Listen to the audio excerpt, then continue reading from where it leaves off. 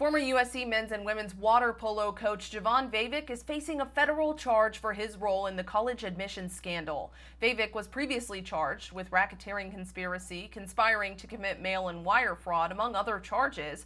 The updated indictment shows Vavic accepted more than $250,000 in bribes to help parents take advantage of relaxed admission standards. The new charge carries a sentence of up to five years in prison if convicted. Katie Johnston for CBS LA.